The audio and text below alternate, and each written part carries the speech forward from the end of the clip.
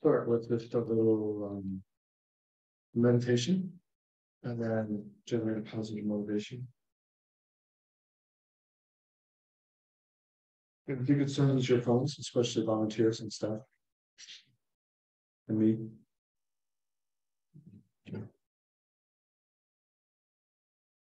Sometimes online, you can leave your phones on, as long as you have your volume turned on. We're in a Zoom room here also. So, Yeah. Okay, get comfortable in your meditation posture then.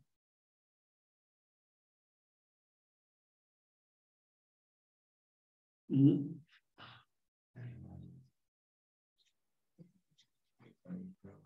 So if you go, take a few deep breaths and scan through your body. Check that all the parts of your body are relaxed and uh, soft. And as you exhale, release any tension, tightness, or stress.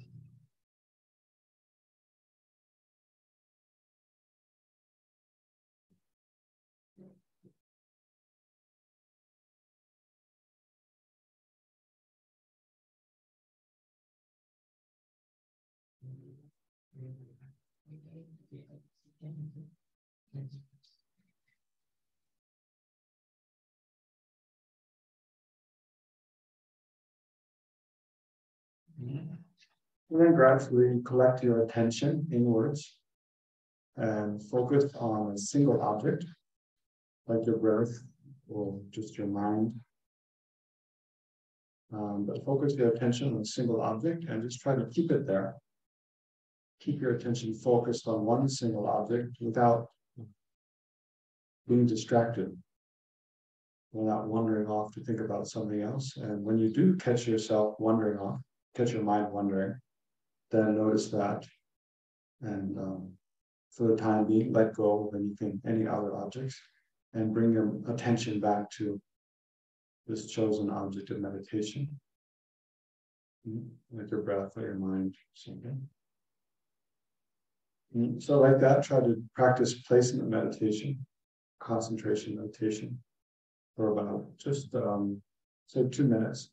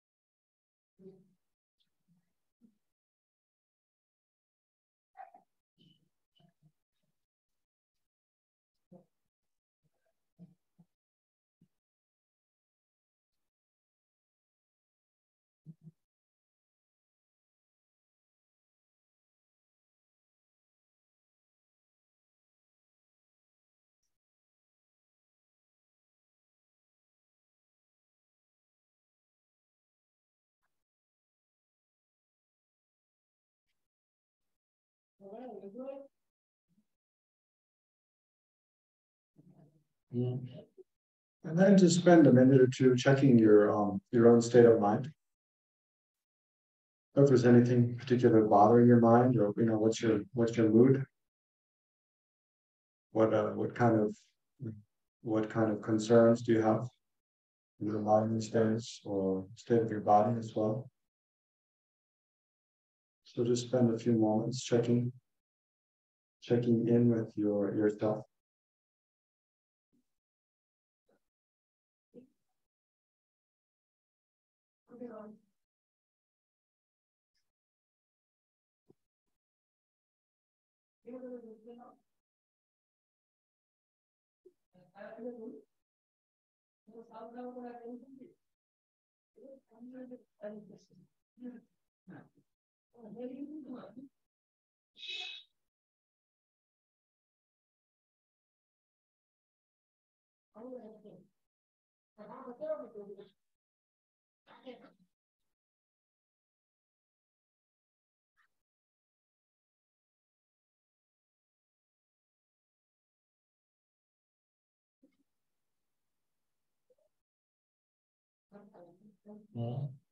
Then bring to mind, um, and if you like, you can visualize around you um, your friends and family. So just briefly bring to mind all your, your friends and your family members, your mother and father, siblings.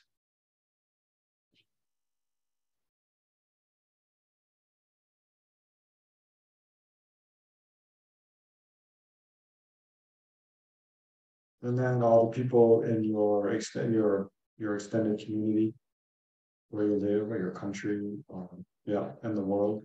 And then yeah, gradually all sentient beings all the human beings, animals, and other kinds of whatever beings exist. And bring them all to mind, especially be aware of any um, anything that any kind of troubles, disturbance, suffering, difficulties that they face.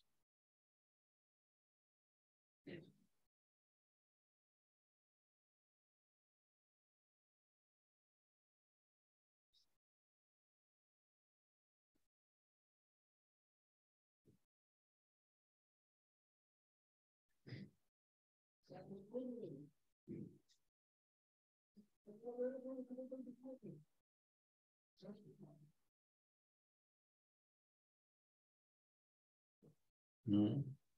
So, and then in light of that, an awareness of um, all of all sentient beings, then try to generate a positive motivation that by whatever we do here uh, together during this session and for the rest of the day, may whatever we do contribute to uh, relieving the suffering of oneself and the suffering of all sentient beings, and then also bringing about the well-being and happiness of oneself and the well-being of one's family, friends, uh, humans in one's community, country, the world, and then all sentient beings. Uh, so first try to spend just a moment generating this kind of universal compassion. On one hand, wishing that by whatever we do, may it uh, relieve oneself and all, all other sentient beings from suffering. So try to generate that intention. Thinking whatever I do, may it relieve all sentient beings from suffering.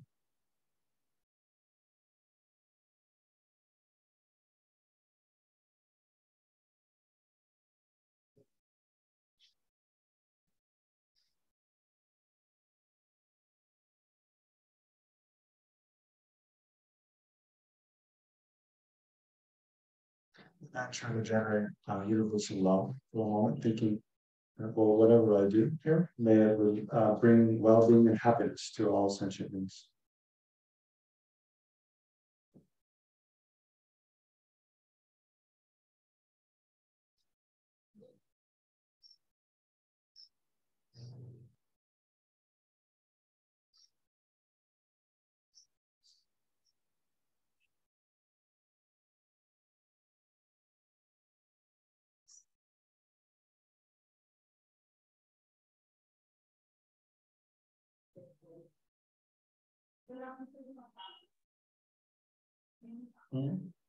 So with that um, motivation, and if you like, you can visualize Shakyamuni Buddha in the space before you, and we'll recite his main mantra just three times as a way of invoking the blessing of the Buddha, discuss some of his teachings.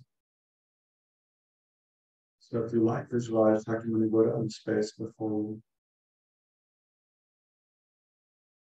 or just imagine his presence.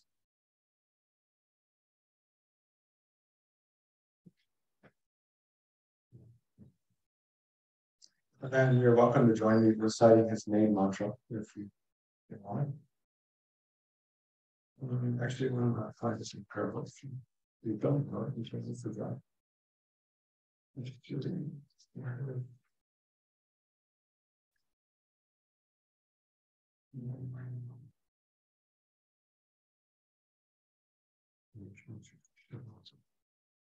Let's go after 167.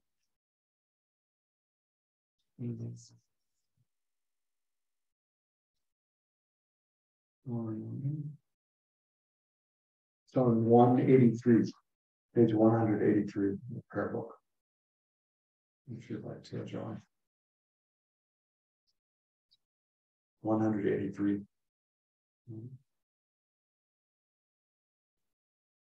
So again, remember your motivation, positive motivation, or whatever reason you have for engaging in the session. And then if you like, um, yeah, visualize or imagine the presence of Shakyamuni Buddha.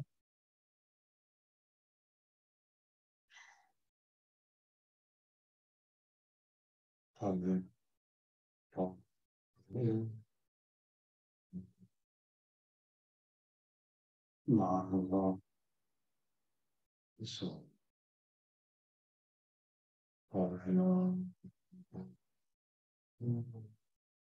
Amen. Mahava. So. Amen. Mahava. So. Oh. Mahava. So.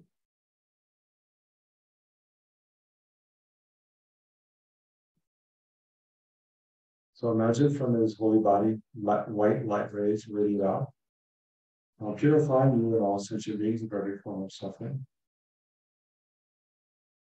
Also purifying the, the environment, the natural environment. And then golden light rays radiate out from his body, blessing, blessing you and all sentient beings to have every form of well-being and happiness to full enlightenment and also blessing the, in the environment, natural environment to become a pure land with the four elements perfectly in balance and perfectly um, rich and pure and nourishing for the, the well-being, the livelihood of all sentient beings.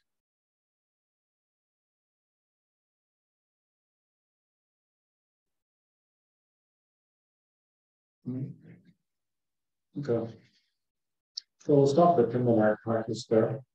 Just thinking we should do a session on just the meditation on Shakyamuni Buddha sometime. Sometime, usually during like sessions, uh, courses like Tushita and Dharamsala, we do at least one session, two sessions, just meditation with Shakyamuni Buddha, or reciting his mantra and doing visualization like that at the end. But it's really nice to do. Um, yeah, we don't usually do here. It's usually we're doing other things in other time. Um, okay, so today's uh, today we're doing this session. It's kind of an unusual topic compared to what we things we usually talk about here, because uh, well, this topic came about. So how to live happily as a couple, um, which is a strange topic for me to talk about because I'm a you know celibate monk for 20 years, so I haven't been in a relationship in a long time. When I was, I was quite immature. So um, so I'm not speaking from experience here much. But um, so this topic came about because actually Shanti Shanti Gopinath, our trustee who's looking after the Zoom room now, she oh Shanti, I'll need to share my screen later on too, just to let you. I'm not sure I can do that yet. I have some notes I'll have to share. Yeah, I have to get in the ability. I don't have enough. Um, so I was in well, I was in Singapore recently for teachings by um, Zopa Rinpoche, who's the spiritual director of our center, and um, for three weeks or so. And so when I came back, Shanti was asking me, she asked me this weekend to review some of the things that Lama talked about.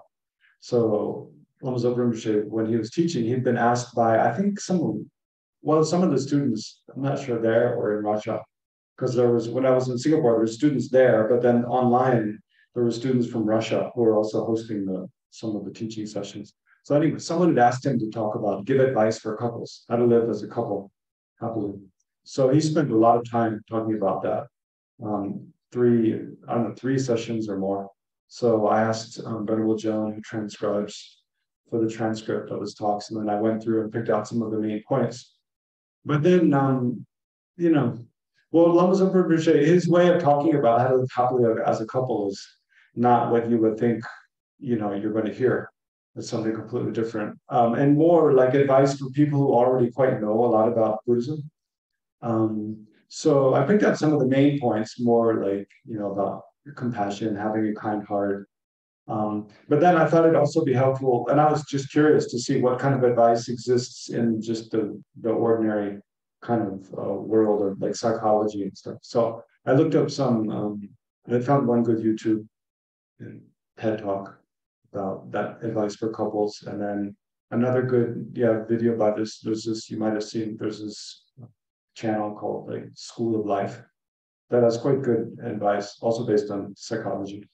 So then I took some points from that too, and it's interesting to see there's I mean there's huge huge overlap between the advice in the kind of secular advice from psychology and Buddhist advice. It's very much very very very similar. I mean, it fits together like perfectly. Um, but I like I find it very compelling to compare, you know, this kind of um, understanding from these two different fields because like psychology, they're not thinking about past and future lives and what meditators have kind of discovered in meditation or something. They're based on mostly empirical studies of behavior in, in people. Um, and you know, based on therapists and what works and doesn't work in therapy, and then based on studies of people's behavior and mental affect at different stages in life and different situations. Um, so yeah, so one I'll pop open my notes here. Let's see. So, okay. So first, just some of the main points that Lama Zopa talked about from the Buddhist point of view is, um, okay, so in the talk, I'll talk about, okay, some of the things Lama Zopa talks about and some of the things from psychology and where they, you know, where they match up. Um, and then some of the other things that Buddhism talks about and Buddhist advice that you don't find in psychology, and then why why the difference, right? Um, because the Buddhist worldview is much different than in psychology. The worldview is just like you're born, you know, your your your life begins at conception. You live, you know, 80, 100 years, maybe a little more, and then you die, and then game over, right? That's it. Whereas the Buddhist worldview is more like you have infinite past lives, this life, you have the good fortune to take rebirth as a human being, so you can decide, you know, make more deliberate decisions about how you want to be as a person. And then, and then what you do in this life, you create karma, and that karma determines how how you take rebirth. So when you die, it's not the end. You just it's just you leave this body, and then your stream of consciousness, and you as a person, you continue on and go into another rebirth. And what kind of future existence you're going to have is very much determined by your state of mind at the time of death and the kind of karma you created. So it's very different kind of worldview. Um, and because of that, then there's very some uh, some different kinds of advice that arise, mostly to do with karma, like in psychology, karma. So like that. Okay, there's something in the chat. Sure. It's a bit muffled in my end. Uh, okay. Okay, so so some of the first things. So first, some of the main things uh, Lama Zopa talked about uh, is compassion, basically, um, as a person trying to be compassionate. So and so how does that, especially how is that especially important in in the context of a relationship, and then using wisdom, and then practicing morality. Uh, so as a couple, so as a couple, like trying to be compassionate or as part of a couple, be compassionate. So these are just some of the main points. We'll come back and go through all these in more detail. Um, and we're doing this over, so there's today's session and then tomorrow morning session. And then if we don't finish, we can continue next time. Come back also. So no hurry. Um, And then, so okay, so that's what, from the Buddhist point of view, mainly going to talk about compassion, wisdom, and morality. Then, from the psychology point of view, so there's yeah two sets of sort of things, qualities here. So first, there's a psychologist named Joanna Davila.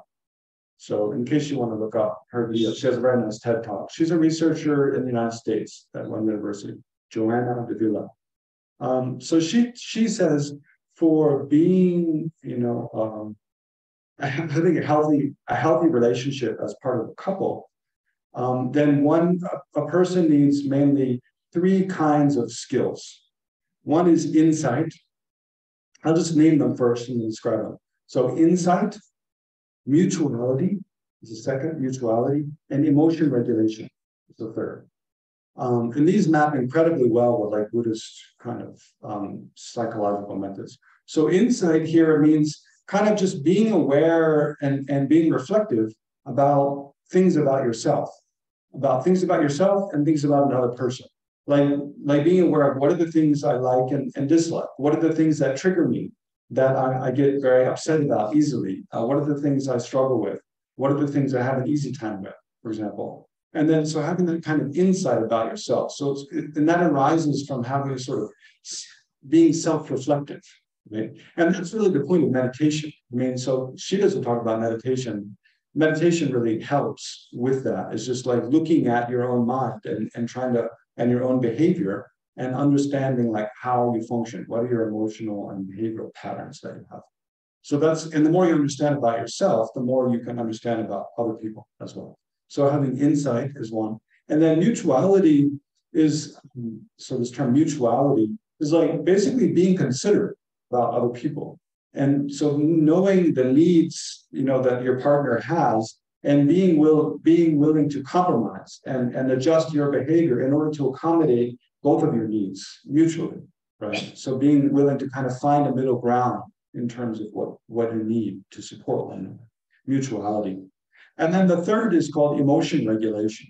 So this is really like, this is what Buddhists do like very well. Talk about the different kinds of thoughts and emotions that we have identifying those are that those that are destructive, like anger and selfishness and jealousy um, and arrogant pride, and those that are, and then trying to reduce those and learning about antidotes, how to reduce negative emotions, um, and then and then identifying positive emotions like generosity and patience, uh, forgiveness, um, and like self-respect and respect for others, and then learning how to deliberately you know, increased positive emotions and love and compassion. Like we were just doing during the, the motivation here at the beginning of the session, you know, trying to generate, you know, the wish that all beings, myself and others, be well and happy. Like that's an example of just a very simple, you know, practice of increasing loving, you know, loving intention uh, or compassion. So yeah, so there's emotion. So the three that she points out again: insight, mutuality, and emotion regulation. And then the um, and then from the School of Life video, they talk about in relationships the importance of what's called rupture and repair. So recognizing rupture, recognizing the inevitability of disagreements and conflicts and like arguments in relationship, which I think we all know. I mean, these kind of advices, they don't only only refer to romantic relationships, but also you know relationships in our family, our parents, our siblings, or at work with our coworkers, or you know whoever, anybody we meet. Um, and just advice for oneself. So, but in the School of Life video, they talk about rupture and repair, which is is a, is is discussed in real like psychology, not just School of Life. Especially, I found that I found an extensive article about it in uh, related to cognitive behavior, CBT. But so in rupture and repair, rupture and repair. So okay, recognizing that there are disagreements, there are ruptures in relationship, but then the importance of repairing those by repairing, like after an argument, by learning to kind of um, make up, basically, it can make the relationship like stronger than it was before. So it can either be, you know, either it's not healed and you just become further and further apart, or you learn to kind of overcome that, to deal with that sort of challenge um, and and mend the relationship such that it's even stronger than it was before. Is the idea. So there they they talk about four four important abilities for doing that, for repairing um, a rupture, you know, ruptures in a relationship. And, and again, these fit very well with Buddhist strategy. So the first is the ability to apologize. It's not brain science, right? It's quite obvious. I mean, you need to be able to apologize when you, you made a mistake.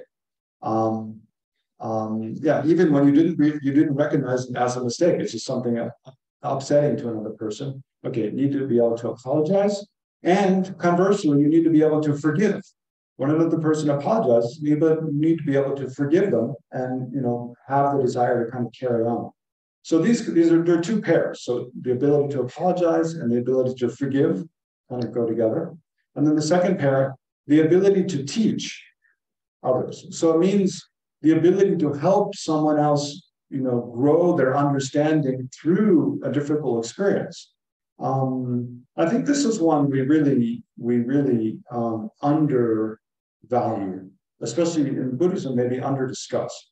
But um, that you know we're all students we're all students we all learn from other people and we're all teachers we all know things and you know some things better than others and we have opportunities to help other people learn um, so if we if we if we recognize that and recognize that you know in some situations we need to try to make effort to help others learn um, it, it helps us realize I think quickly, like, I mean, I always think one of my main experiences teaching outside of Buddhism was like teaching English in uh, to in Taiwan. I taught English to all different people, from adults, you know, in private lessons, which is very easy. They just want to talk about their personal problems with someone that they don't want to tell anyone else about except their English teacher. Um, to like little, you know, little five-year-old kids just learning ABC for the first time. Um, but what, well, the main point they make in the video is that when you when you're teaching someone, you have to have a bit of well, they say pessimism. I wouldn't agree to use the word pessimism, but you quickly learn that other people don't learn as in the way and as quickly as you expect them to as a teacher. So you have to really learn to be patient and learn to like whatever you're trying to help someone else learn, break it down into bite-sized parts that and then just feed it to them like feeding an infant baby, like one at a time, slowly and don't give them the next spoonful until they've eaten and digested the first spoonful. Otherwise, they become overwhelmed and becomes a mess. Right. So, so we we don't have to, you know, in a relationship when things rupture, you know, it's not that we always have to think, oh, I know better and you know less, and I have to teach you something. Not like that. But but when when we see something about it, you know, what caused that flare up, that disagreement, um, that maybe that maybe we really think would be helpful for the other person to know, we have to learn how to share that, express that in a way that is going to be kind of acceptable and and seeable by the other person, and also find the right time, and the right place, like we said. Um, so anyway, we'll come back to that. But we have to have the ability to teach and also the ability to learn, right? So we also have to recognize that we don't know everything. Surprise, surprise right? That we have a lot to learn um, from other people. Um, and so have that kind of humility. Okay, so there's, so again, there's four abilities they point out, ability to apologize, ability to forgive, ability to teach, and ability to learn. So, so now I'm going to take um, some of the main points that Lama Zopa Rinpoche made in his talk, and then fit all of these together. And do some meditation as well, slowly. Okay.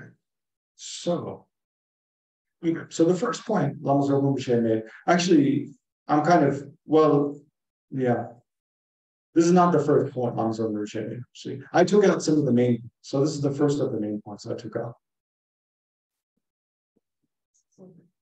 Two pairs, two pairs. The, what is it? Learning to apologize and forgive, go together, and then teach and learn. Okay. So yeah, because Lama Zopa Rinpoche, when he gives a, a, teaching, usually it kind of goes all over the place. There's a lot of different stories and, and things. So I just took out some of the main points. Um, so the first is that real happiness comes from a good heart, right? Practicing a kind heart. So this is, yeah, and this also is point as Holiness makes. So, you know, thinking uh, we'll check. I mean, this is what we'll meditate on a little later is to check if it's true or not. But in a relationship, any relationship of another person, I think, you know, the, the main, the most important thing for it to be, you know, mutually enjoyable um, and and for it to be stable and long lasting um, and and kind of grow and grow in terms of having trust and mutual respect mutual respect and growing in terms of you know understanding each other you know knowing each other more and more and thereby understanding each other better and better. It's just you know basically just being kind you know being kind hearted um so and not being kind like because we want to get something because we want other person other people to like us or because we want to have more friends but just being genuinely kind because we you know we feel like that's how we want to be as a person. And why do we want to be like that as a person? Because we like it when others are kind to us in short. So um so the first thing yeah is just having a good heart being kind heart being good heart. um and this and this relates back to, and what Lam Rinpoche says, couples, couples life, couples life, uh, the meaning, the purpose is to be together, right? So as a couple, that's what it means to be together, right? Just to um, to agree to like share your lives together as, as a couple. Um, but the purpose of that, what's the purpose of sharing your life with another person? It's because you want happiness. You want to be happy as a person. So, and that that's not only true for couples, like everybody, I mean, this is Buddha's fundamental, I mean, almost like an assumption that, the Buddha, you know, in all of his teachings, he just assumes this, um, that this is the case. But it's a very important, it's something that, you know, His Holiness Dalai Lama, you know, reminds us to, to think about, to reflect upon, and to, um, to try to understand more deeply. Um, you know, in, in, in, in our practice as a Buddhist or just as a human being, as, as a person. And so this is the basis of, of secular ethics. This fundamental observation that that every sentient being, so sentient being means any person who has a mind, right, who has a consciousness, as we were. So that every sentient being, on the one hand, they want to be free from suffering. They want to avoid pain, physical pain, mental pain, um, and all and you know from from simple illness up to the most complex kind of problems um, that we all want to avoid different kinds of dissatisfaction it's a more subtle sort of suffering but any kind of suffering.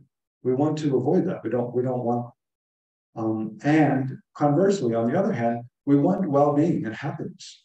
You know we want we want pleasant feelings in our body pleasant feelings in our mind both in the short term, like a temporary, you know, maybe some, in some cases superficial or very short lasting kind of happiness, but we also want long term, you know, happiness, deep satisfaction, contentment, um, and and a sense and a, a, sort of a wholesome sense of,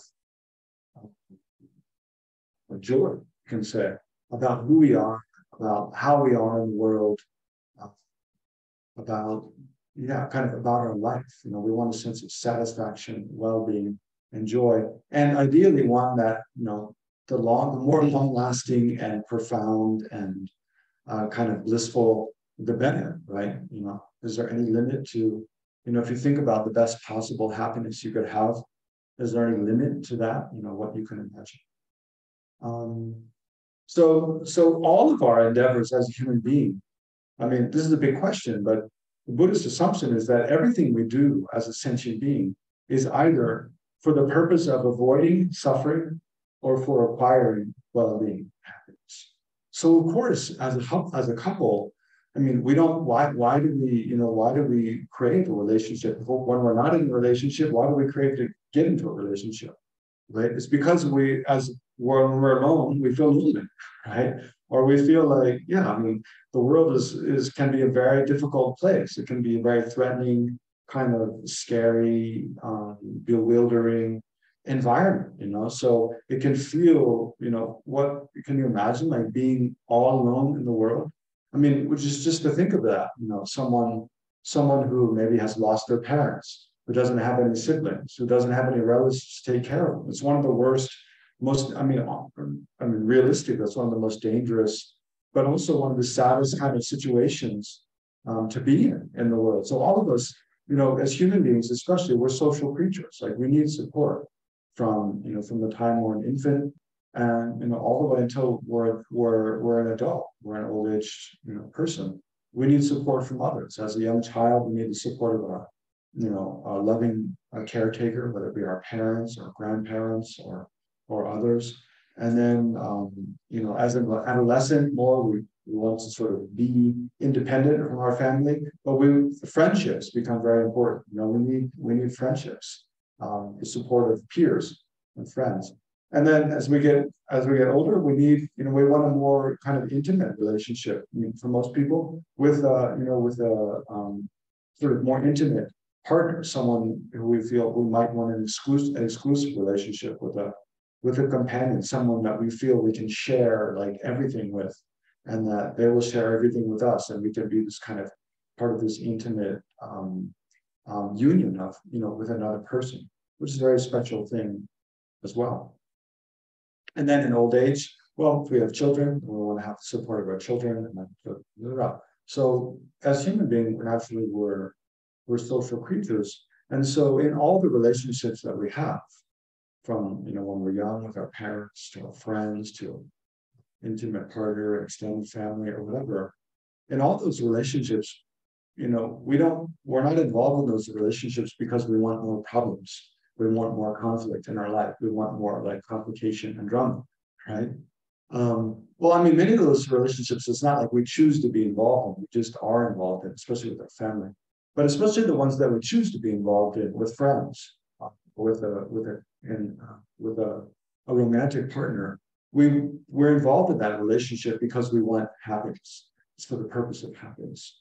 So this is Lama Zopa Rinpoche's observation here is you know it's the, the relationship is for the purpose of well-being and happiness that's why we choose to be in a relationship so but then we need to think well how can we create happiness through that relationship and well-being um so Rinpoche goes on to say but but you must know what's, what's the way to be happy like how to be happy um so so here we can relate that back to this so we need to bring bring a kind of wisdom relationship is we can't just assume that because you know we see someone and we feel good about them, then that as long as we're with them, we're going to keep feeling better and better and better.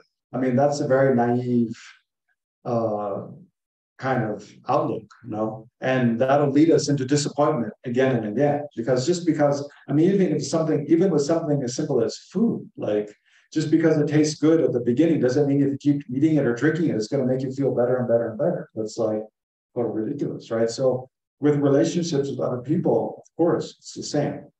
Um, so this is where we need we need to use wisdom to understand how can I, you know, find more happiness for myself in this relationship with other person. But but because it's a relationship, it depends upon, you know, it's it's it takes two to tango. It depends upon both of you being involved. So we also have to think, well, how can I also, and this is more important actually for happiness, how can I, through this relationship, bring more happiness to the other person, right? To this other person. Um, um, so because it often it's not an obvious thing, right? So here, this so we need to use sort of wisdom to understand, you know, together in a relationship with this other person, how can you know how can we work together create more happiness? Now, as I've been preparing for this session, I keep thinking about Okay, I'm going to talk to a room full of people who are interested in Buddhism and the Buddhist path about, you know, how to be part of a relationship. And one of the questions I know is going to come up, you know, it should be coming up for all of you already, most of you, except maybe those who come as a couple, right? But like, okay, because in most couples, okay, I'm interested in this, but my partner is not, right? So how do I, what do I do, right? Um, and the answer is, I think basically that you use what you know what you can learn in this kind of context to be you know to be the best you can in the relationship and then try to set a good example right? I mean, there's all the things we're talking about. It doesn't mean you're whoever you know your partner is. They don't have to be on board with all the same things because most of it's quite common sense things. And also, if you can become a more mature, more well informed, more wise um, person in the way you interact in the relationship, naturally that's just going to make both of you more happy, right? Um, and then if and also if you can make real dramatic change in the way you are involved in a relationship, then naturally the other person, again, whether it's a romantic partner, or whether it's a sibling or a family member, the other person will notice and also be interested in what, you know, what are you doing? How is it you're coming to this kind of um, insights or conclusions or changes that you're making? And then, you know, it doesn't mean you'll have to, they'll have to become, get on board with Buddhism or whatever your strategy is, but um, but it can open up, it can make space for learning from each other, dialogue. Okay, so here though, so this bringing, having, so understanding that in a relationship, the purpose of the relationship is to bring about more well-being and happiness, right? But to do that is not necessarily how to do that is not necessarily easy or straightforward, and so we need to use wisdom. So this is the same as this is what Lam Rinpoche said. But what does it remind you of in terms of the psychologist? Insight, right? The first strategy of this, this um, what was her name?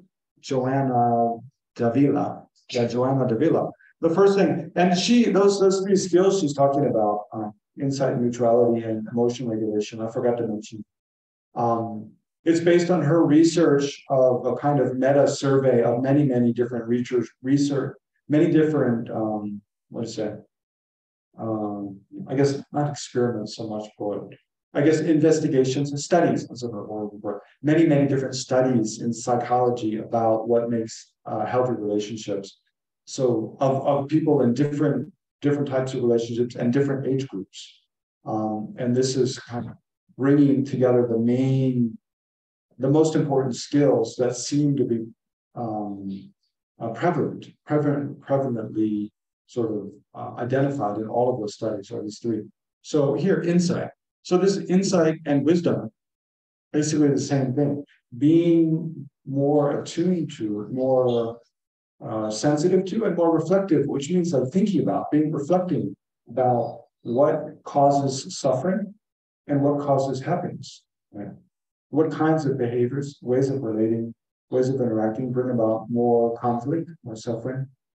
Um, and what brings about happiness. And here again, there's a difference. I mean, as we as we unfold this more, there'll be a, a bit of difference in the perspective of psychology versus Buddhism, because Buddhism is largely talking about um, karma and how so much of our suffering and happiness comes about through karma that we've created in the past, and then by uh, by especially acting in an ethical way in our behavior um, being uh, primarily being mindful not to harm others and to benefit others as much as we can. We create positive karma such that we experience more and more happiness in the future, in future in this life and also future lives. But um, yeah, I'll just read a bit what the next point Lama Zopa Rinpoche makes. Yeah, is this the conclusion? He says the essence, practicing a good heart um, that, that is happiness. So just practicing a good heart, just having the intention to, yeah, to be kind, to be helpful um, to another person itself brings about happiness for oneself. Um, real happiness comes from a good heart. So real happiness comes from, you know, just wanting to be a kind-hearted person. That brings the best sort of satisfaction to oneself. Um, even the other person, even if the other person is very selfish, right? So if you you're very kind-hearted and very you know altruistic, concerned about other, but they're very selfish. They learn from you. Right? They they learn from you. So we can, yeah, we can think about that a bit more, but um, you can be an example to so many people about how to practice a kind heart. So in a relationship, um, yeah, is it true that you know that by practicing being kind-hearted? So what does being kind-hearted here mean? It means on the one hand, um, not not never generating the wish to harm. right? What's the opposite of being kind-hearted? Is having, you know, having the intention to harm the person. Right. So the first is recognizing that, you know, just as I don't want to be harmed, others, whether verbally or of course physically, you know, don't need to mention even, but even mentally, even I don't want others to have, you know, harmful intention toward me, have ill will towards me, have the wish that, you know, misfortune and pain and and um, and um, um, and suffering befall me. I, I shouldn't even you know have the, the mentally the wish to harm another. So so first of all, I mean, sort of almost like the very foundations for practicing good heart is in you know being mindful in all in every circumstance, no matter what arises, no matter how. And what is really difficult is when we feel like we're really being mistreated by others. But we have to sort of build up the armor of patience such that no matter what happens, no matter how hungry or thirsty or disappointed or you know unhappy or miserable I am, that I never let that become the, the intention that others, you know, that others suffer. Um, so, so never generating ill will, never generating the wish to harm others. And then, of course, you know, trying as much as we can in our speech not to harm others. And then, of course, with our physical actions, not to harm others. So, first of all, just practicing good heart, the basis is, you know, not harming, not harming any, any, and not harming not only other human beings, of course, those that are close to us, but you know, ironically, those are the ones we're most likely to harm, we most harm, isn't it? So we have to check out why is that. But it, it helps even to begin with, you know, smallest animals, you know, dogs, cats, you know, insects around us. If we practice like not harming towards the mosquitoes, mosquitoes trying to bite us, instead of killing it, just shoo it away or try to catch it and put it outside the room. Or, you know, ants and, and cockroaches in our kitchen or something, instead of putting, putting out poison, try to put out some kind of, you know, herbal spray or something. There's a very good one actually in India by your company. Oh, I don't remember. I'll mention it later. I just discovered recently. But there's a lot of anyway. There's a lot of uh, home remedies like turmeric powder and cinnamon. It's very good. Um, but for like you know, prevent insects from coming to the sweet stuff in your in your house or whatever. Just sweep every day so insects don't come. But try to you know in in any situation by practicing you know because insects they're not like they don't trigger us like you know like our parents do or like our siblings do or our neighbor does or stuff like that. They're very simple right? So if we can practice we but this but the mind of like wishing to not harm is the same right? So we can practice towards this very simple situation of like when mosquitoes come to bite us or there's you know ants in our in our in our room we can practice okay not harming and trying to you know, you know kind of be able to cohabitate in a, in a mutual um, mutual kind of agreeable way towards them, then you know that we build up the habit, the mental habit of not harming. So even when you know the maybe I don't know the, the person next to us in our office or something is doing something really annoying, um, then we also remember this is a sentient being. They want they want they don't want to suffer. They want to be happy. So I should try to deal with them, even though I'm getting annoyed. Try to deal with them in a way that's not hurtful you know, to them. Right? Um, so basis of practicing a good heart is not generating, you know, or generating the habit, the mental habit of not harming others, right? Just wishing to not harm in all circumstances. And then on top of that, as much as we, and that's the basis of, of morality in Buddhism, is based upon this fundamental recognition that all creatures want to be free from harm. They don't want pain. They don't want to suffer. Then we should not harm them. And then, and then based upon the observation that all other, just like I want to be happy, I want to be healthy, well, you know, at peace, at ease, you know, enjoy life. Um, and and also and not only enjoy life, but I'll have you know deep inner like, satisfaction and joy. Other all other creatures are the same. So generate as much as possible the wish to benefit others, you know, to help others in, in whatever way we can, to bring happiness to others, to bring well-being to others, to care for others, to nourish and support their physical and their mental life, right? So, the, so, so just here, coming back to a relationship, and then we'll meditate a bit. Um, you know, in this relationship with with you know a special person, a romantic or whatever, husband and wife, boyfriend, girlfriend, whatever. Just try to. In the first thing, is the most essential thing you could think.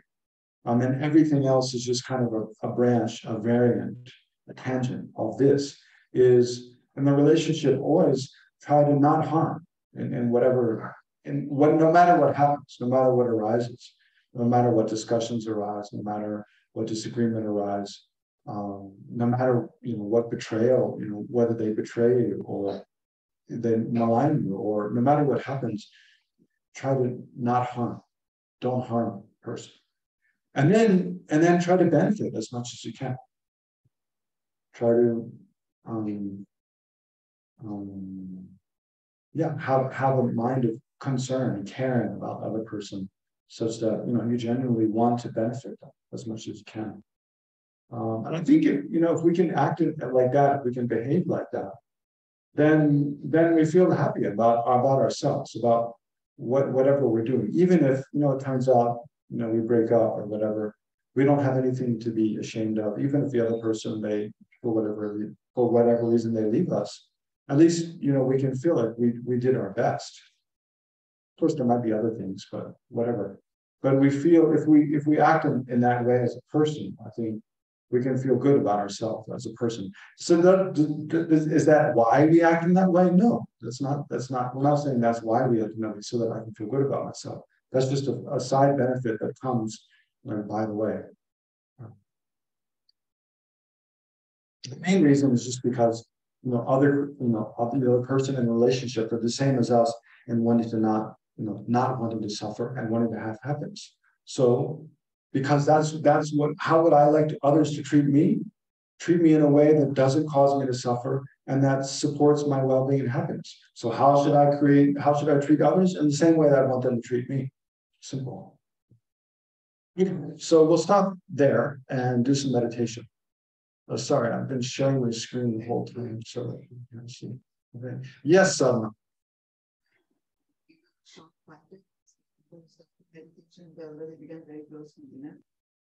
You have organized some uh, beverage and.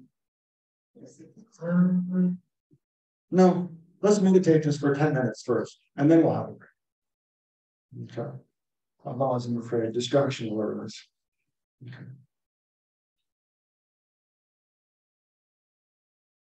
So again, take a few deep breaths, get comfortable, maybe wiggle around a little bit, and then settle down in a in a yeah a way of sitting. You can just sit still. So we'll just do a short meditation, just uh, mm, five to ten minutes.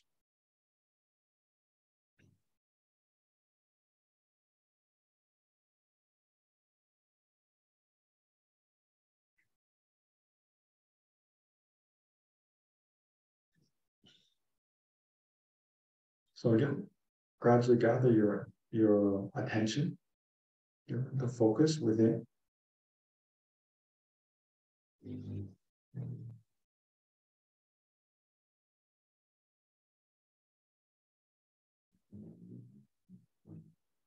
So yeah, so you're welcome to think about actually anything that I've been presenting you know, if there's something you feel like you really want to think about, need to think about immediately right now, you're welcome to do that. But um, yeah, I'll, I'll make some suggestions of ways to yeah, reflect during this meditation.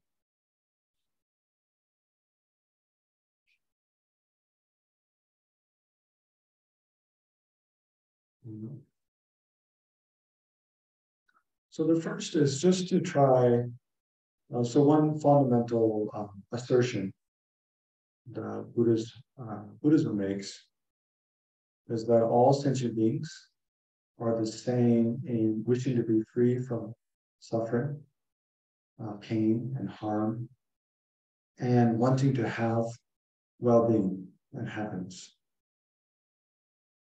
So I'd ask you to, to check if that's true.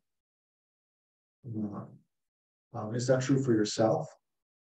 So maybe in the context of thinking about a relationship and in a and as a couple, part of a couple, then first check is that true for yourself, and then check if is that true for your um, your partner, the other person you're involved. Right. So maybe for a couple minutes first, just reflect on yourself or you can, yeah. So again, is it true for yourself that you wish to be free um, from from suffering, free from pain and harm? And what does that mean? Is it true and how? How so? And then is it true that you want to have well-being happiness? Um, yeah, so first reflect on that for a couple minutes, and then I'll remind you, then reflect um, on that in relation to um, the other person. And then, then finally, I guess the question will be, and is that is that the purpose of this of the relationship?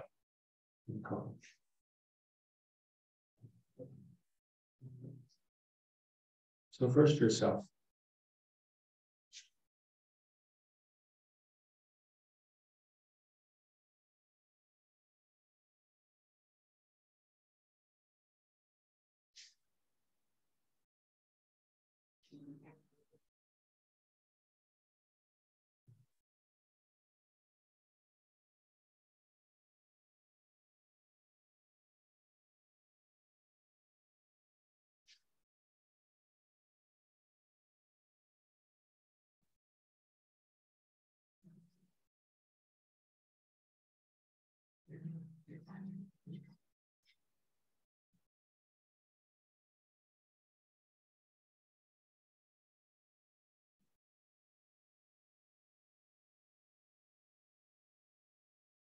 Да, да.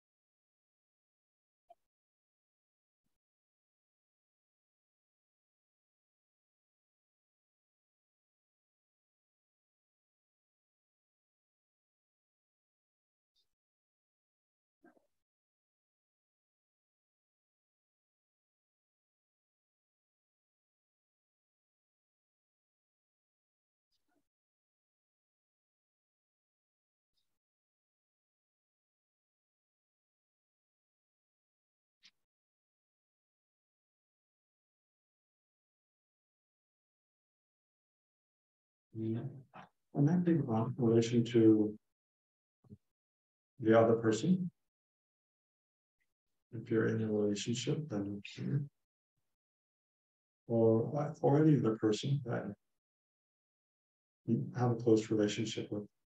Is it true also for them that they wish to be free from suffering and to have happiness? And what are the different shapes that takes?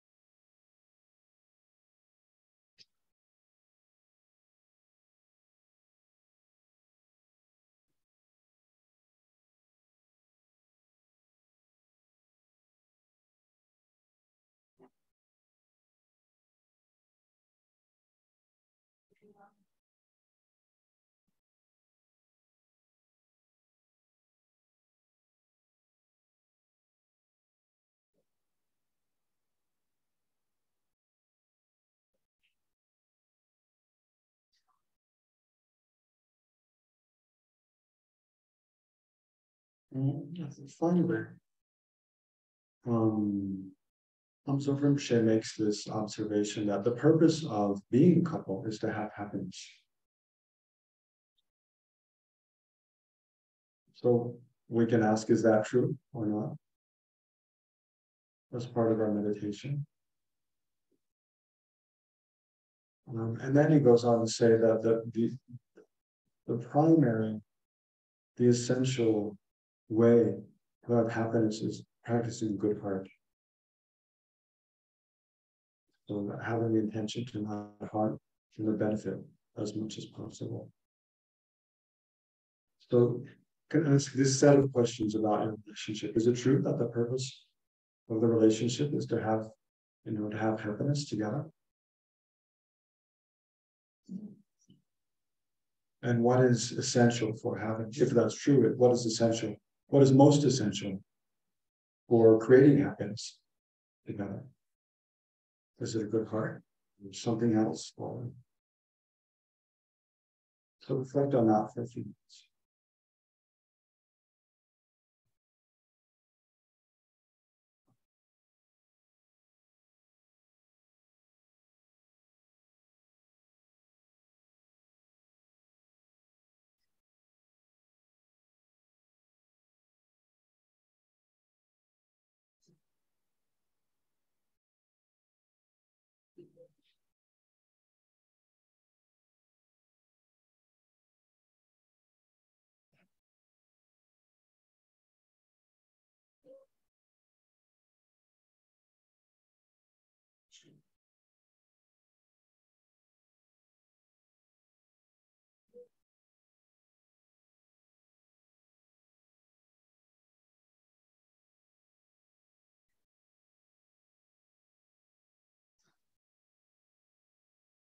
Meditation, just try to reflect on everything yeah, you've heard and you've meditated on, especially in the last 10 minutes, and try to come to some kind of conclusion for yourself.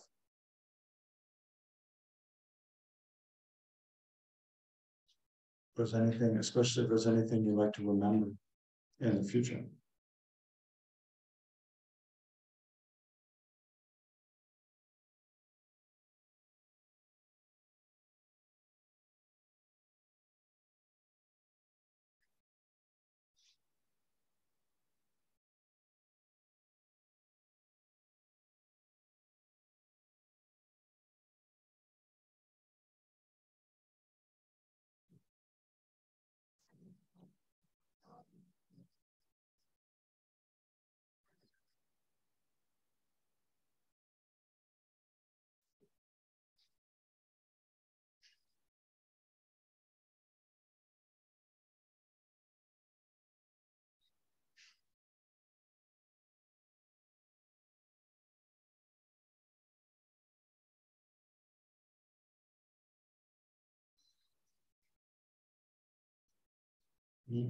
Okay, then we can um, relax your attention there and stop the meditation.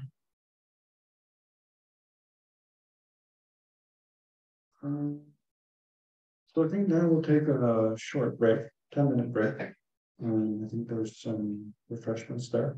And then we'll have some discussion, question and answer, and then, then we'll see what happens. Okay. So we'll have a break, a 10 minute break now. Yeah. Um, so why one, uh, you know, uh, I understand the philosophy of saying that one must not do any harm, you should strive for collective good. Um, is it possible? I think I mean I've personally experienced that as well. Like I would think that I'm doing the right thing and I'm coming with the best intentions, but it's not perceived in the best way or the other party doesn't. And there's a certain reaction to that. Mm-hmm. So how does one reach an equilibrium in that state where you think you're doing the right thing, but there's clearly like um you're divided on the top. Right. Okay. So I'll repeat also for people online here.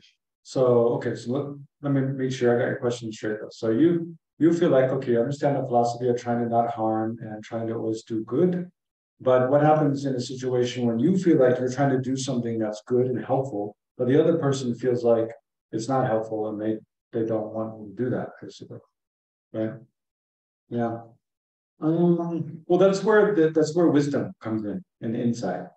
Because it's not enough just to have a good intention and just do whatever whatever seems good. Like we have to use kind of insight or wisdom to investigate well what's actually going to be helpful and then not only maybe what's actually going to be helpful but what's going to be acceptable especially when it involves another person what's going to be what are they going to perceive as helpful?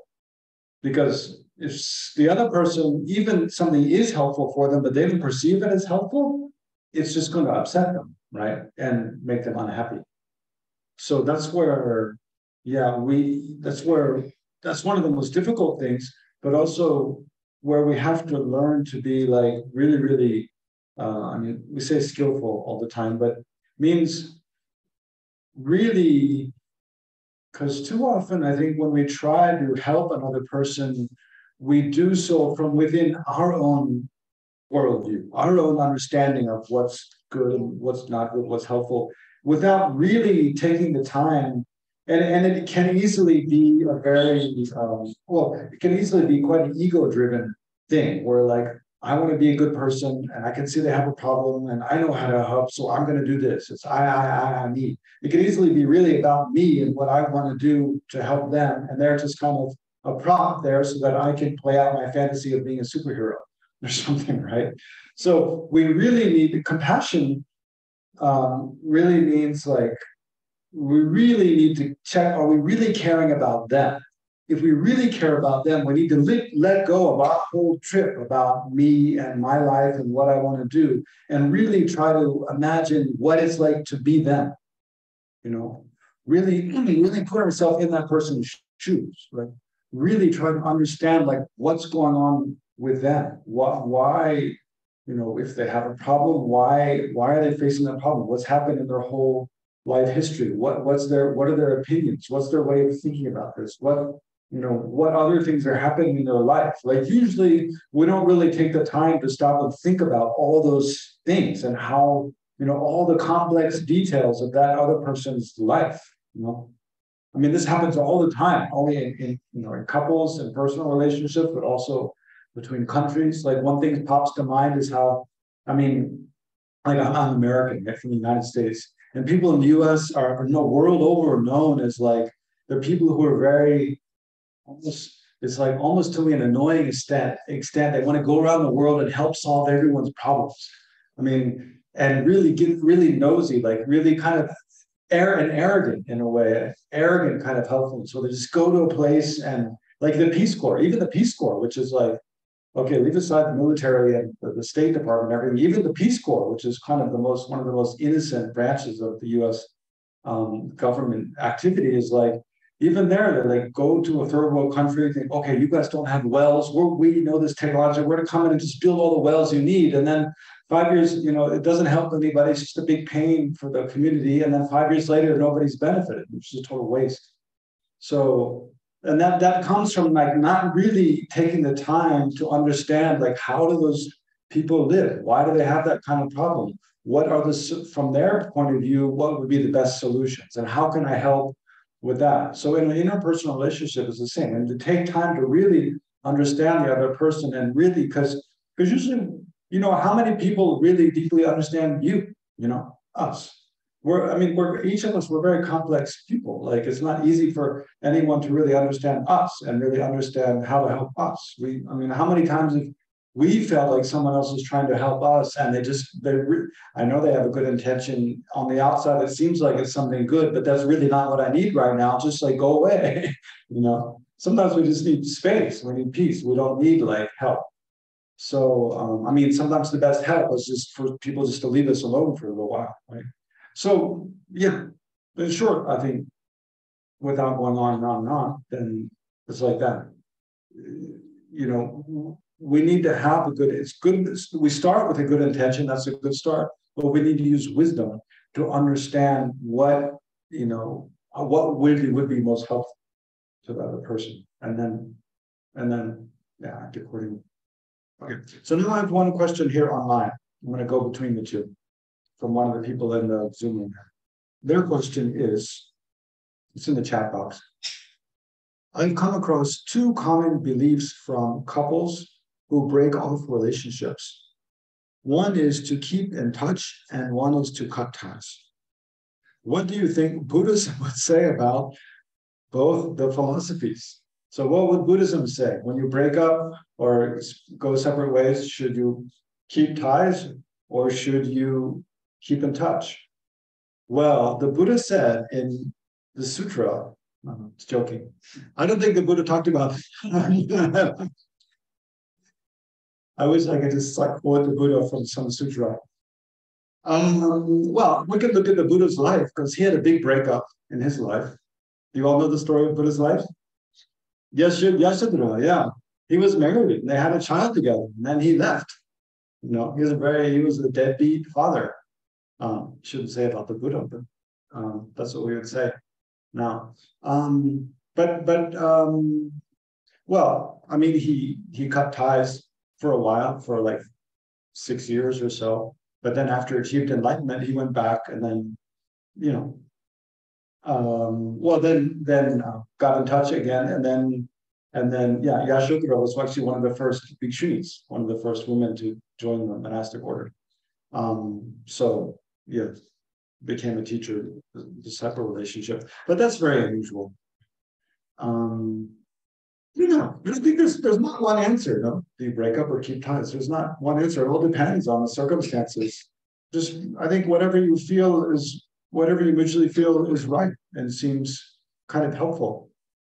I mean, I think generally, you know, well, maybe one thing that, that's helpful to remember here, um, from the Buddhist perspective, like we're always together with every sentient being. We never, you know, we're all part of the same world and as being, you know, as sentient beings, being part of the same world, we've always been part of the same world from beginningless time. You know, in the Buddhist perspective, as you know, uh, each of us individuals, so just think of each of us individuals in the room, in the Zoom room, like what are we as a person? Mainly, we're, we're a continuity of consciousness. Like this body, it, it only lasts for a short time. And then the consciousness you know, as there's a well, I don't know, there's there's a continuity of consciousness and the continuity of the person that's labeled upon the consciousness. Now, don't worry about that for now. Just think consciousness is fine. It's not only it's not quite that simple. But so there's a continuity of consciousness. It means a stream of consciousness. It, it's moved in our experience, we've experienced moving from you know childhood through each day, each moment to this life, you know, I mean, to this moment now, you know, just think about the moment when you came into this room or you sat down, you know, to, to at the beginning of the session till now. Like we've moved through all our consciousness, stream of consciousness, moved through all these moments. It's moving right now. You know, it'll move into the future. Eventually we'll leave this room and go to somewhere else. Da, da, da, so, and then eventually this body will become old and decrepit and, and then parts of it won't function anymore and it'll die. At that point, our consciousness will separate from the body and then it'll go on to an in-between state, and then it'll take rebirth somewhere as some kind of creature, and then have another life. But in the Buddhist perspective, and that happened before this life as well. Like before we were, you know, at the moment of conception in our mother's womb, our consciousness was somewhere else, and then it entered into, you know, the fertilized egg cell at the moment of conception. But before that, it was it had just left a body and it was somewhere else, right? It was in an in-between state, and then before that was in some other rebirth. So this stream of consciousness, according to Buddhism, has no beginning. Right? Each of our, as an individual person, each of our individual streams of consciousness, it's not like there was just one big ocean of consciousness and then this little triplet, like streamlet just broke off from that. Not that. Each of our individual streams of consciousness is beginningless because you, you can't posit the beginning. How could consciousness arise from something else? Um, and also has no end. So as a person, of course, in every life, we're not like the person we are now, with this kind of body and the name and family and whatever and appearance that we have now. But but we're this part of the same stream of consciousness. So my point is, basically, we're in the we're and, and we're in the world with all these other sentient beings, and we're intimately related to to each other, right? We- From life to life, we have different relationships, you know, in any one life, most other sentient beings, they're strangers to us, we don't know them. But in any one life, we have many friends and family, right, who we, we have different kinds of relationships with, enemies too, whatever. But, but then in each life, it's different. It's different people. So in a way, it's like, well, I guess one, one way to think of it is like this. Whatever, whatever animosity and kind of um, conflict we have with another person, um, it never goes away, actually. So we have to just resolve it eventually because, you know, we might think, you know, like I used, I remember when I was young and when I was younger, before I knew anything about Buddhism, Uh, or had thought about this question, then I thought, well, you know, these people I really don't like, if I can just avoid them until either I die or they die, then the problem will be resolved, right? Because we're dead and we'll never meet again. But actually, in the Buddhist worldview, that's totally not the case, right? If we have a conflict with another person, we have, suppose we have anger at another person, they have anger at us or whatever, we have this conflict, even we die, the karma is there. We've created karma uh, through you know acting with uh, malevolent intention, through acting with that mind of animosity or whatever, and so um, that karma doesn't go away. So through the force of that karma, then in the future life, we'll and one, the karma doesn't go away, and, and two, we're we're still in the same world. So eventually, we're going to meet the person again, right? It's not like it's not like we just stop to exist when we die because stream of consciousness, which carries all the imprints of everything that's ever happened to us before, is still there. So eventually, when the karma ripens, we'll meet with that person and that conflict will continue. So the way to bring peace, ultimate peace, is to resolve all conflicts. Like you can't, you, peace doesn't come about through through dying, right? Um, that just it just kind of is a pause in the game, you know, and then the game picks up when you both take rebirth and you meet again, which eventually you will. So that's why this holiness, I mean, Dalai Lama, I mean, that's one reason he's always saying, you know, I mean, um, I mean, he doesn't even talk about karma, but of course, karma is kind of there in the background. That, you know, peace can't come in the world through war and violence and conflict. Peace can only come about through overcoming conflict, through dialogue, basically, and, and mutual understanding and coming, coming to, you know, mutual respect and mutual concern between individuals and between you know communities, between nations. Um, so okay, so back to the, the question though. Uh, if the couple breaks up, should they cut ties or stay in touch? I don't know. I think the question is more like, well, well, I guess I can say they definitely shouldn't hold a grudge towards each other. You know, they shouldn't. You shouldn't hold on to like re- resentment and vengeance. That is really destructive, right? Even if you don't, even if you decide you don't want to stay in touch with each other, at least have you know wholesome intention. May whatever happens, may they be well, right? May things go well for them, whether that involves me or not, doesn't matter. But um, um, but yeah, then you have to measure other things like look at what what seems to be what what are dangers? Are there dangers that problems will arise if you stay in touch. Like if one one of the people has really out of control attachment, then they stay in touch. Will that be a problem for them? You know, then then maybe it's better not. Um, or if one is like really, really has a real problem with loneliness and depression, and if they don't stay in touch at all, is it possible they'll they'll become suicidal or something? Then maybe better to keep some contact, you know, just to to to make sure the person doesn't feel totally abandoned. So you have to just check. There's all different sort of scenarios, right? Okay. Other questions? Well, he raised his hand, so and you had a question, right? Come with time. What's your name? Akash. Okay. Hmm. And this can be applied to like anything in the world because we have relationships with anything. Like you, know we are talking about couples and all, but if you look at it in a way, I have with this family, with this phone, Mm. everything. Yeah. So suppose if you want to do something and you do, you, you take the action and if the results, the outcome does like does not meet your expectation. Mm. So that that is the like this can be that is a like major cause of suffering. Yes. But the first, if I now think about it, why I wanted to do this action, uh, because I was going to, as you said, that like uh, all the sentient beings know only two things: either they like uh, relieve from suffering or move towards well-being. So I was moving towards the well-being. Mm. And now, if I keep trying at this thing and it still does not meet my uh, expected outcomes, Mm. it, it keeps causing suffering. Mm. So what should I do then? Okay, let me just repeat your question to make sure I got it, and, you know, so the people online can hear. So you're saying, um. Yeah, as a, as a person, we have relationships not only with other individuals, like in a couple relationship or family friends, but we have relationships with anything. Any, any, any inanimate object like a watch or a pen, or we also have a relationship with that, we have a relationship with everything else that exists, it's true. I agree. And then, uh, so what happens when in relation to something else, you have, you act with, in, you act in relation to that other thing, and you have some expectation or some um, hope that something will happen, and then it doesn't happen, and you suffer because you're disappointed, right?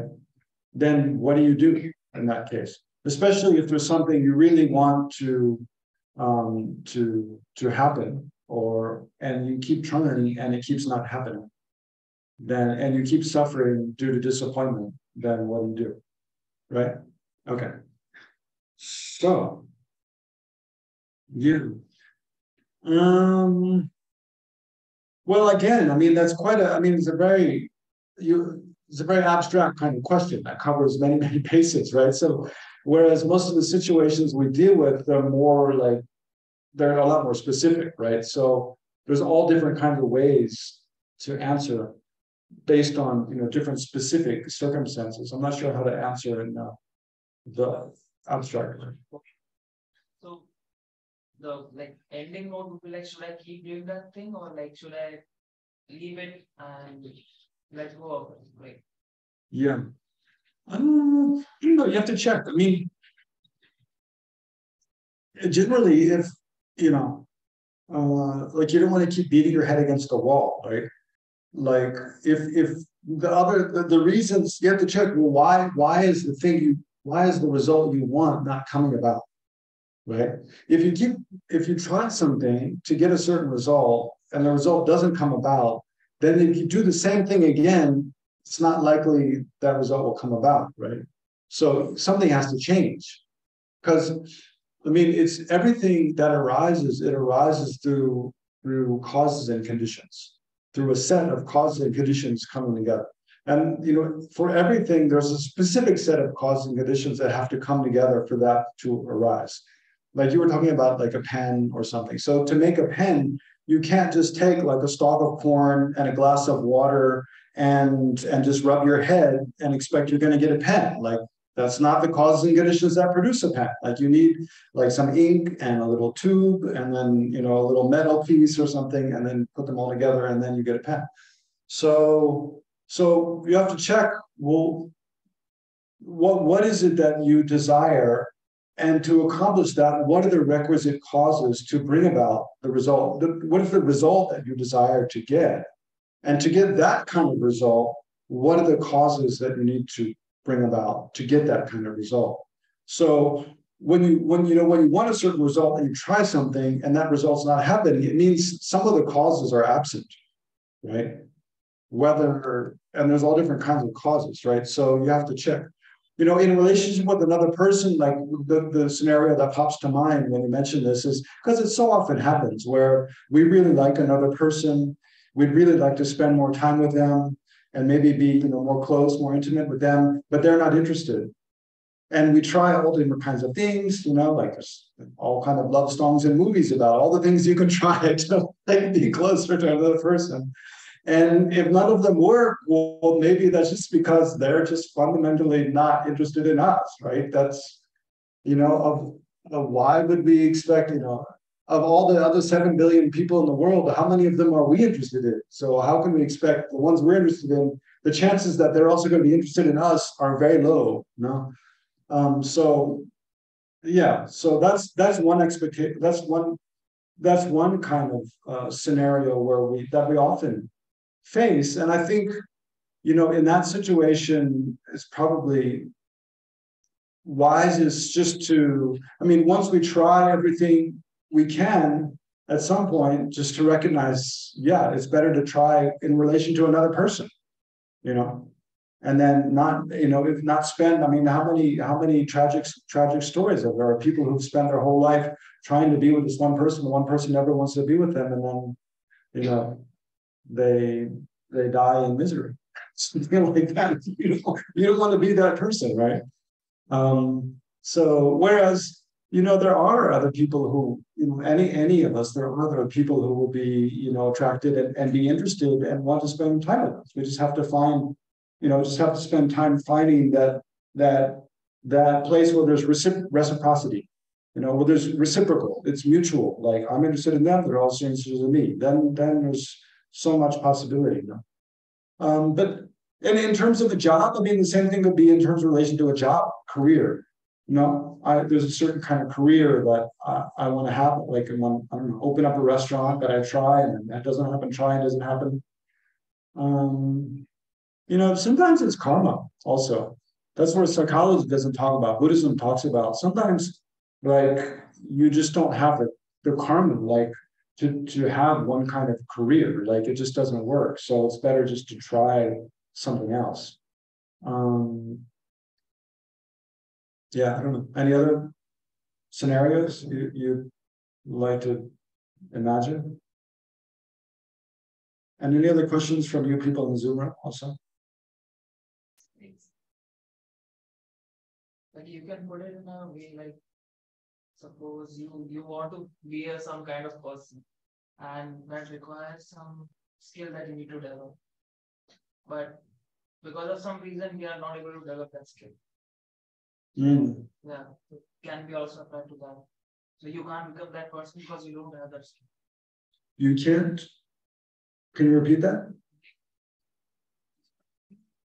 Like you had some, uh, you're thinking like I would be like sometime in few years I would become that person. Mm, And to become that, I have to need to do these things. right, Suppose these things, they, they are actually not in our control. right. So Mm, uh, this can be applied to this. yeah, But then isn't this Mhm. like you're not becoming that and you thought that if I would become that, I would be like moving towards the well-being, I would be would feel good. yeah. And if you don't do that, do something else. mm. Isn't that like settling, like, I don't know, gi- Like giving up. giving up? Yeah. Uh, well, see, this is this is like it's it's your way of mentally framing it. I mean, if you mentally frame it like, and, and I think people, a lot of people suffer a lot because of this. Like they get too fixated on one thing. Like I want to be that. If I can't be that, then I'm a failure. No, that's not a healthy way to to frame, and it's not re- realistic. It's not reality. Like, and it's being too narrow-minded. I think we can, you know, be too fixated on, you know, I want to do this, this, this, and then I'm going to be a doctor, right? But then we, you know, maybe we can't get into medical school, or even we get into medical school, but we, we get too much anxiety, so we can't, and we have too many health problems, so we can't do the internship or whatever. Some kind of obstacles arise so that we can't actually finish and become a doctor.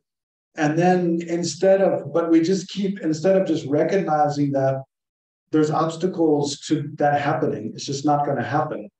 Instead of and then and then instead of recognizing that and redirecting our energy, we keep banging our head against the wall. We keep trying to do this thing, which is just not going to happen, right? Like in one, in Tushita, you went to Tushita, right? I think I heard you mention. Yeah, one time I was teaching a course at Tushita, and there was there was a young woman there who she was having a similar kind of her thing was she was she was trying to take i think it's the civil exams to become civil servant civil service exams the IAS which is like how many percent of people pass those? It's like less than one percent point something something yeah one percent.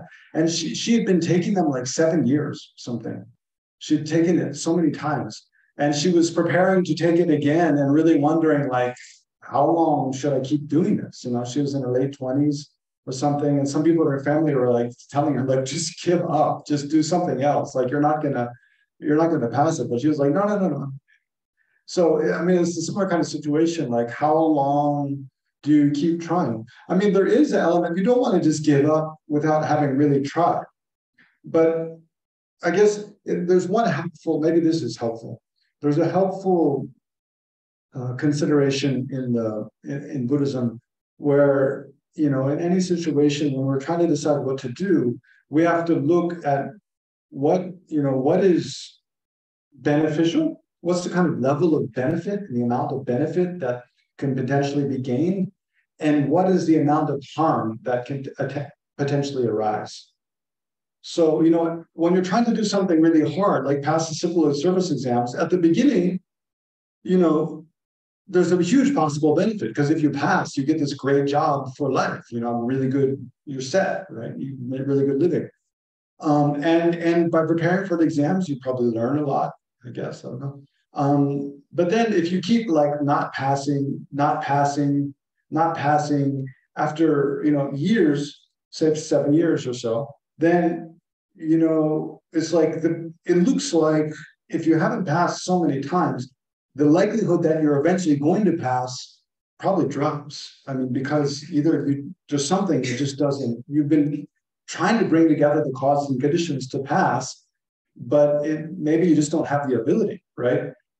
Basically, or I don't know what, but but it looks like if it looks like you're trying to bring together the causes and conditions to be able to pass, but it's not happening, and you keep investing time in just that and not investing time in an alternative, then that can become harmful. That that you you become you know you're aging and you're not really getting experience in any other career track, then the longer you do that, the, the more likely that you're just not going to get another good job, I guess, or something, isn't it? Um, so it can there's a potential the potential harm increases and the potential benefit decreases, right? So you have to take this equation. What's the potential benefit and what's the potential harm? Right? When the potential benefit is significantly higher, yeah, keep trying. But when the potential harm is outweighing the potential benefit, better give it up and try something else where there's you know more potential for a benefit right? So yeah. There yeah and i mean it's like it's like you say you have to benefit you have to balance that you know um, what do you say uh, determination with pragmatism right? On the one hand it's, it's good to be determined to do something but it's also pragmatic to recognize at some point like that's just not going to work. I should do something else that where there's greater greater potential for, for benefit and success. Right? Yes, son. Mm-hmm. What like he says, no, I think even the Buddhist thing is persevere, but let it go when it causes you suffering, when you begin to realize that sort of doing something. Mm-hmm. The other thing, like you mentioned very nicely, you need to resolve issues at some point in time Otherwise, it can be very self-destructive. Can't go on. You just can't go on with your life. The other thing is, I think somebody was mentioning, you know, when you start chasing happiness or chasing people, they tend to go away. Mm. You have to just give some space and time. Mm. Uh, that's what I have come across. And the third thing, the part, the last of it is, you know, the kind heart. I found there are three points. One is be um, encouraging, be appreciative. Even if you want to give negative feedback, be appreciative, fortify. The second is be encouraging in whatever they are doing. And the third will be motivating for the future. Mm. So to make anybody not, because ultimately it's not only your happiness, it is even growth for both. Both have to see the benefit. Mm. what I have come across. Yes, thank you. Any um Okay, it looks like no more questions online. Any more questions?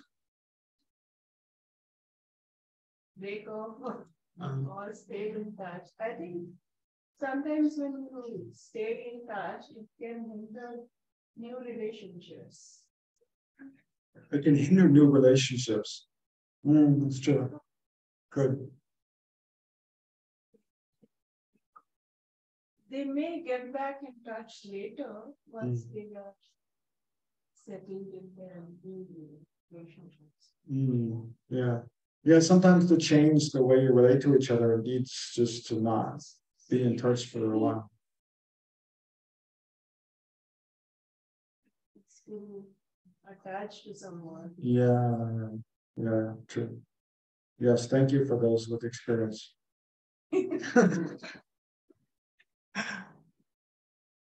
Okay, why don't we conclude here then? I think it's uh there's not really much time for more meditation. A few minutes left, so let's just dedicate. So thinking, uh, yeah, by whatever merit we've created through this, uh, yeah, this session on how to live happily. And well, before, well, we're gonna we'll continue tomorrow. Um, yeah, I've only gone through just a tiny bit of the material I was wanting to go through, so we'll probably continue in some future weekend as well. But what, by whatever merit we've created.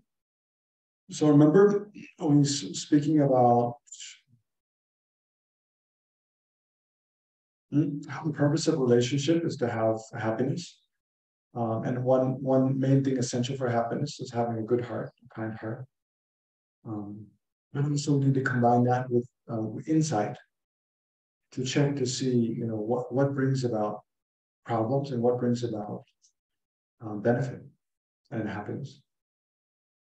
So by yeah, by whatever positive energy or merit we've created, then we dedicate that may all sentient beings, all the human beings, all the hell beings, hunger ghost animals, uh, gods and demigods, whatever beings exist whatsoever, May they all be free from every form of suffering.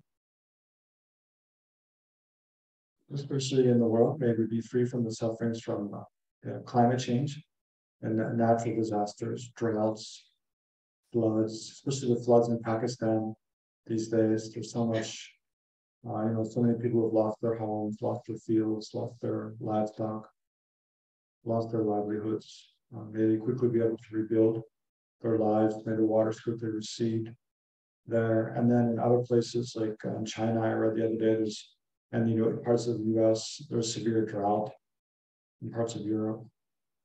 So may all those places where there's drought, may they quickly receive rainfall. And as a human uh, community, may we quickly be able to reduce and eliminate, you know, stop polluting the um, the air, you know, with carbon dioxide and methane and other gases which cause global warming. And then be able to stop cutting down the, the forests in different places. Um, and be able to renew, you know, restore the environment, planting trees, um, developing green, you know, green energy. And then also may be able, be able to uh, reduce violent conflict like the war in Ukraine, violent conflicts in uh, Africa, other countries, and even you know domestic abuse and bullying. So as a human community, we'll be able to um, bring about universal compassion, loving kindness, mutual respect and concern among all, and also with the, the uh, with for animals.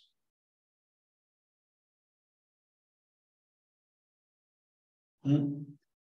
And then may all the teachings, Buddhist teachings and others that bring about uh, well-being and fitness, may they continue to prosper and flourish in all parts of the world. And may especially our, our teachers, as well as Dalai Lama, Lama Zopa, and others, have long and stable lives and all their holy wishes be fulfilled. And then bring to mind any special intentions you have for people you know, um, or special intentions that you have, bring them to mind.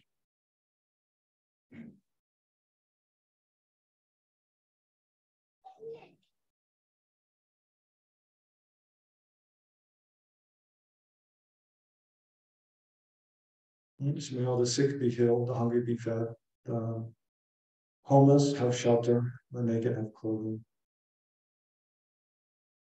And may all your, your uh, particular intentions, your wholesome intentions be fulfilled and according to your wishes.